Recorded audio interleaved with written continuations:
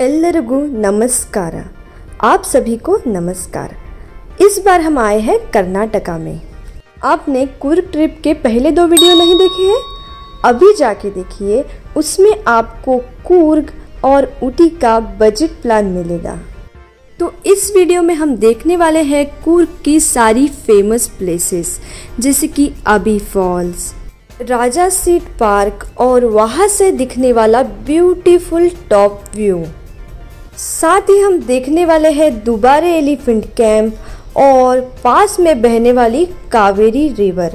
And very interesting हम रास्ते में कुछ कॉफ़ी स्टेट्स भी देखने वाले हैं।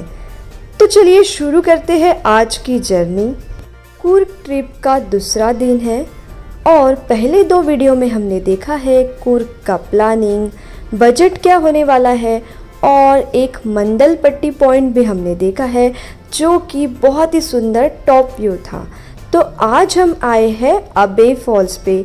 ये आज के दिन का हमारा दूसरा पॉइंट है। तो गाइज़ हमने व्यू पॉइंट देख लिया है। वहाँ से चार से पाँच किलोमीटर की डिस्टेंस पे एक अबे फॉल्स है। तो वो अभी हम देखने आए हैं यहाँ पे। एक छोटा सा वाटरफॉल है। आगे हम वीडियो में अभी देखेंगे। ये वाटरफॉल कर्नाटका के कोडगू में है जो कि मडिकेरी से 8 किलोमीटर्स की डिस्टेंस पे है। मैसूर से ये 122, मैंगलोर से 144 एंड बैंगलोर से 268 किलोमीटर्स की डिस्टेंस पे है। अबे फॉल्स पे पहुँचने के बाद फिफ्टीन रुपीज़ पर पर्सन वहाँ पे आपको टिकट पे करना पड़ेगा।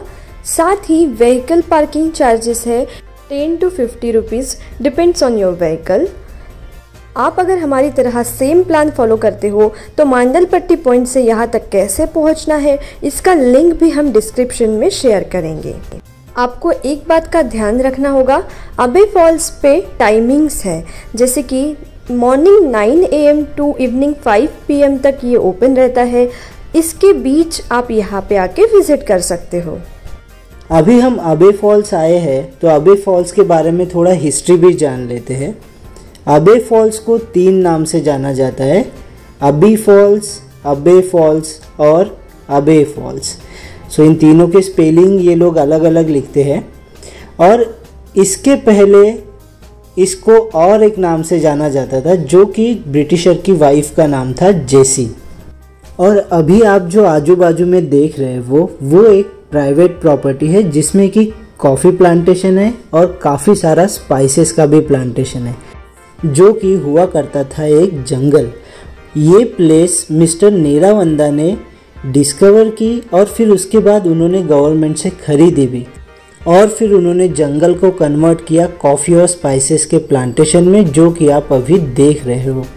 आप अगर राइट साइड में देख सकते हो तो एक हैंगिंग ब्रिज है, जहाँ से वाटरफॉल का व्यू बहुत सुंदर आता है। इस वाटरफॉल का फ्लो मॉनसून में और भी ज़्यादा होता है तो ये बहुत ह्यूज दिखता है। आप देख सकते हो यहाँ पे बहुत लोग हैं, ये पॉइंट को विज़िट करने आए हैं। तो कर्नाटका में आने के बाद आपने यहाँ पे एक बार ज़रूर विज़िट करना चाहिए। ये यहाँ का एक फ़ेमस टूरिस्ट प्लेस है। तो ये थी सारी इन्फॉर्मेशन अबे फॉल्स के बारे में। अबे फॉल्स की हाइट 70 फीट है और जो पानी नीचे गिर रहा है, वो सीधा कावेरी नदी को जाके मिलता है। आगे हम वीडियो में कावेरी नदी भी देखने वाले हैं। यहाँ पे थोड़ी देर रुकने के बाद हम जाने वाले हैं राजा सीड गार्डन में, जो कि यहाँ से सेवन किलोमीटर्स की डिस्टेंस पे है। इसके अलावा मैं आपको बता दूँ कि आप यहाँ से कौन कौन सी प्लेसेस विज़िट कर सकते हो जो नियर बाय है। जैसे कि गोल्डन टेंपल 38 किलोमीटर्स की डिस्टेंस पे है, जो हमने फ़र्स्ट वीडियो में ही एक्सप्लोर किया है। आप हमारा फ़र्स्ट वीडियो देख के देख सकते हो कि गोल्डन टेंपल कैसा है। इसके अलावा दोबारा एलिफेंट कैंप 40 किलोमीटर्स के डिस्टेंस पे है, जो हम वीडियो में आगे देखने वाले हैं। वैसे तो इतनी प्लेसेस विज़िट करने में आपका दिन चला जाएगा बट आपके पास टाइम है तो आप यहाँ से 50 किलोमीटर्स की डिस्टेंस पे तला कावेरी है, वहाँ पे जाके आपका टाइम स्पेंड कर सकते हो। अभी तक जो हमने इन्फॉर्मेशन शेयर की, उससे आप पूरा कुर्ग घूम सकते हो और सारी इन्फॉर्मेशन बिल्कुल फ्री है। तो पटापट चैनल को सब्सक्राइब कर ले ऐसे ही नए नए प्लेसेस की इन्फॉर्मेशन के लिए। ट्रैवल रिलेटेड इन्फॉर्मेशन के लिए आप हमें हमारे फेसबुक और इंस्टाग्राम पे भी फॉलो कर सकते हो। अभी ये जो सिंबल देख रहे हैं हम घर पे लगा हुआ, ये सारे घरों पे यहाँ पे लगा होता है। इसे कूर्ग का सिंबल कहते हैं। यहाँ के लोग कुर्गिज लैंग्वेज बोलते हैं, जिसे कोडवा कहते हैं और उसी से इस विलेज का नाम कोडागू है। यहाँ पे उनके पास बहुत सारा एग्रीकल्चरल लैंड है और ये लोग बहुत सारे वेपन्स भी कैरी करते हैं और उसी से वो सिंबल बना है। और यही एक कम्युनिटी थी इंडिया में, जिन्हें फायर आर्म्स कैरी करने का परमिशन था विदाउट ए लाइसेंस तो गाइस हम वाटरफॉल से निकल के यहाँ पे आए हैं। एक दो किलोमीटर की डिस्टेंस हम आगे क्रॉस करके आए हैं और अपन पूर्ग आए हैं और यहाँ से अगर कॉफ़ी नहीं लेते हैं तो क्या बात है। तो यहाँ पे एक लोकल शॉप है। यहाँ से अभी हम कॉफ़ी लेने वाले हैं। तो चलिए देखते हैं कि क्या क्या वैरायटीज़ है उनके पास कॉफ़ी की। कौन सा कॉफ़ी है भैया? ये कौन से कौन से टाइप का कॉफ़ी है? दो टाइप का कॉफ़ी है सर रोबस्टा उसमें रोबस्टा में रोबस्टा ये दो रोबस्टा है। है प्लांटेशन डबल प्लांटेशन ए दो टाइप का प्लांटेशन मतलब अरबी का। अच्छा arabica and which one is good या plantation is good plantation I both you take अच्छा है। प्लांटेशन डबल रोबस्टा और प्लांटेशन डबल प्लांटेशन और डबल ब्लेंड करके लीजिए। ओके अच्छा ये बीन्स है आप ब्लेंड करके आप खुद दोगे। बीन्स दे देता हूँ नहीं तो आप क्रश करके पाउडर। तो अभी हम लेने वाले हैं सिक्सटी परसेंट प्लांटेशन और फोर्टी परसेंट रोबस्टा है ओके।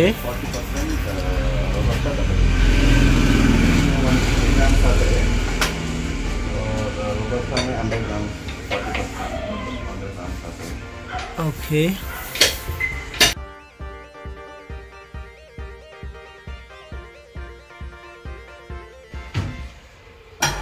फाइन पाउडर है। परफेक्ट या बीन्स है हम उसका फाइन क्रश करके ले रहे हैं अभी।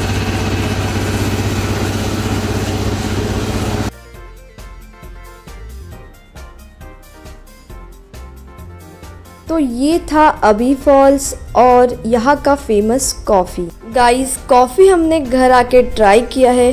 इट्स रियली नाइस आप कोई भी ब्रांड का ना ले लोकल शॉप से ही ऐसे कॉफ़ी परचेस करें, बहुत सही है। अभी हम पहुँच गए हैं राजा सीट गार्डन में। तो चलिए देखते हैं गार्डन कैसे है अंदर से। हमने सुना है कि यहाँ पे बहुत सुंदर व्यू पॉइंट है।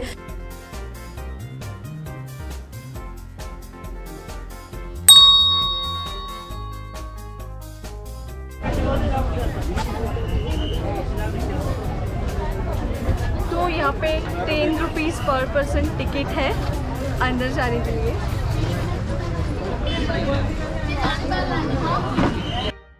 राजा सेठ गार्डन में आके भी हमें पार्किंग का फोर्टी रुपीज़ पे करना पड़ेगा और लोकेशन का लिंक हम डिस्क्रिप्शन में शेयर करेंगे। उससे आप अबे फॉल्स से यहाँ तक आराम से पहुँच पाओगे। गार्डन की टाइमिंग्स है मॉर्निंग 5:30 टू 8 पीएम इसके बीच आप यहाँ पे कभी भी विज़िट कर सकते हो। राजा सेठ गार्डन ये मेडिकरी का एक पॉपुलर टूरिस्ट प्लेस है। इसका नाम राजा सेठ क्यों दिया गया है? तो हिस्ट्री से कि यहाँ के जो राजा थे, वो ये गार्डन में आके अपना टाइम स्पेंड करते थे।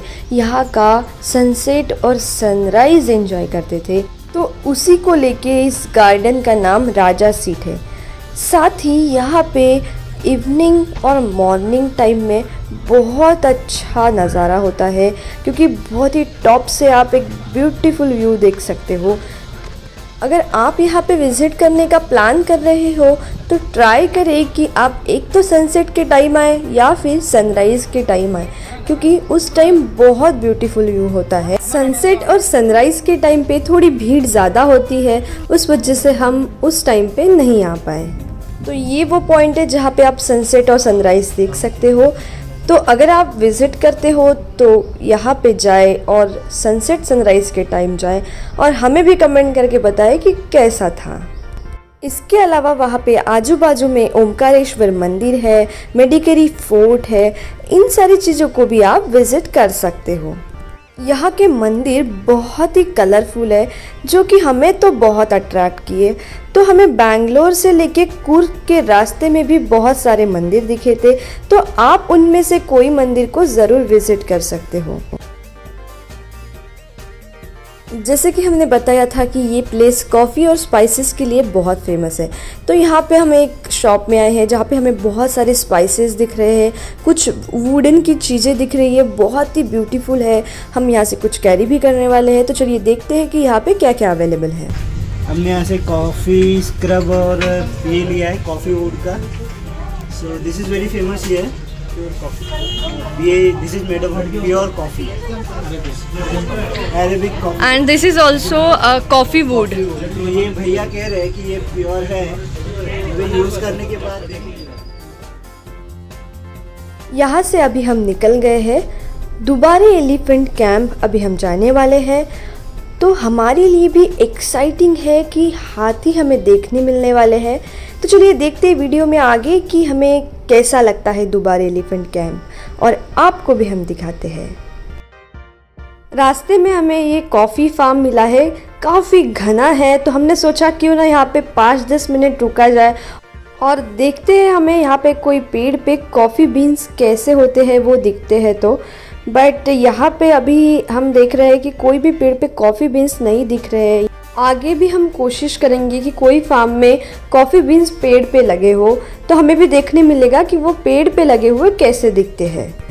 कॉफ़ी के साथ साथ यहाँ पे स्पाइसेस के भी बड़े बड़े फार्म्स हैं और बहुत ही बड़े बड़े पेड़ भी हैं।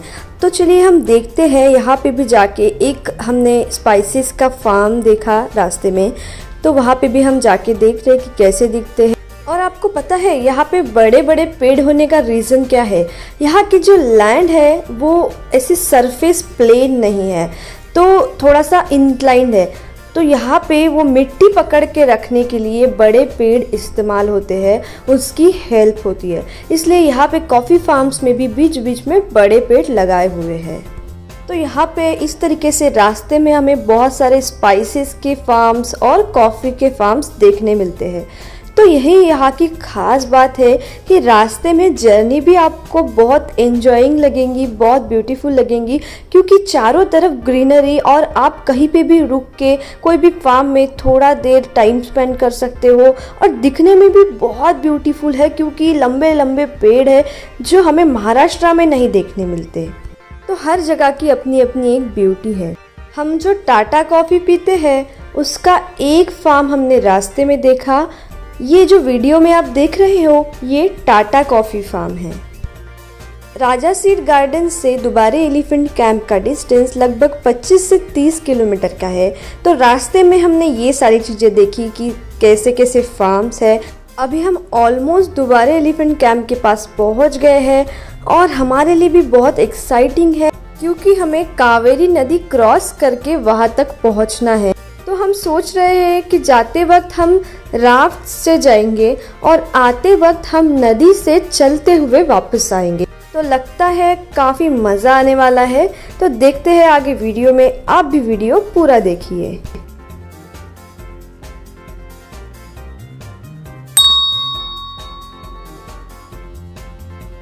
यहाँ से है एंट्री एलिफेंट कैंप की।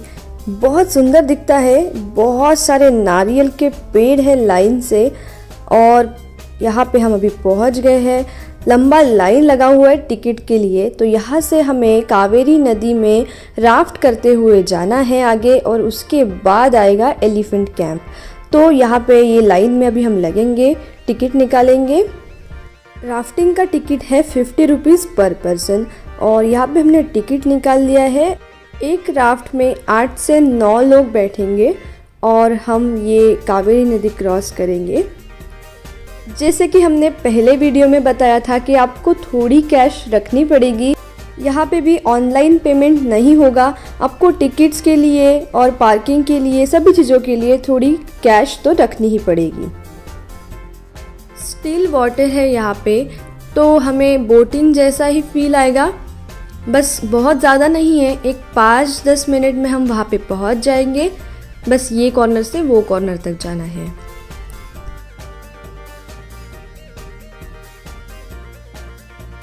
तो ये अभी हम ऑलमोस्ट पहुँच गए हैं कैंप के पास, वहाँ पे जहाँ पे आपको बहुत सारी बोट्स दिख रही है। वहाँ पहुँचने के बाद हमें एंट्री फ़ी पे करना है फिफ्टी रुपीज़ ध्यान रखें कि यहाँ पे हर जगह पे पार्किंग और एंट्री फ़ी तो आपको देना ही है। यहाँ पे विज़िट करने का time morning 9:30 thirty AM to 5:30 PM है। तो आपको ध्यान रखना होगा कि आप इसी बीच यहाँ पे आके विज़िट करें। ये एलिफेंट कैंप बहुत ही पॉपुलर टूरिस्ट प्लेस है। कुर्ग का, कुर्ग में आने वाला हर कोई विजिटर यहाँ पे एक बार आके जाता है, क्योंकि यहाँ के जो एलिफेंट्स है, वो एक अट्रैक्शन है, क्योंकि लोग यहाँ पे आके थोड़ा टाइम उनके साथ स्पेंड करके जा सकते हैं। यहाँ पे आपको टोटल 32 एलिफेंट्स देखने मिलेंगे मेल और फीमेल मिला के। कुछ एज में ज़्यादा है, कुछ कम है। मैं आपको दिखाऊँगी वीडियो में आगे कि छोटे एलिफेंट्स कहाँ पे है। और ये जो आप बड़े बड़े एलिफेंट्स देख रहे हो, उसके लंबे लंबे दांत। हमने यहाँ पे पूछा तो हमें पता चला कि इनका एज 40 टू 45 के बीच में है। बहुत ही ह्यूज है यहाँ पे ये एलिफेंट्स यहाँ के आती बहुत ही ट्रेंड है। मैसूर में दशहरा जो मनाया जाता है, उसके लिए यहाँ पे ये ट्रेनिंग सेंटर है जहाँ पे हाथियों को ट्रेन किया जाता है। यहाँ पे आपको बहुत सारी एक्टिविटीज़ भी करने मिलेंगी एलिफेंट्स के साथ। जैसे कि एलिफेंट बात होता है, जो कि मॉर्निंग टाइम में होता है तो हम लोग इवनिंग में आए हैं, इसलिए हमें वो देखने नहीं मिला। नेक्स्ट वीडियो में हमें एलिफेंट बात देखने मिलेगी, जो कि हमने जंगल के एरिया में देखी है।